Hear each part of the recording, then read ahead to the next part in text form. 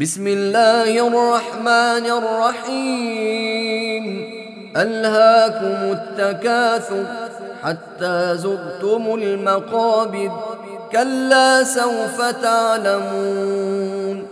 ثم كلا سوف تعلمون. كلا لو تعلمون علم اليقين لترون الجحيم. لترونها عين اليقين ثم لتسألن يومئذ عن النعيم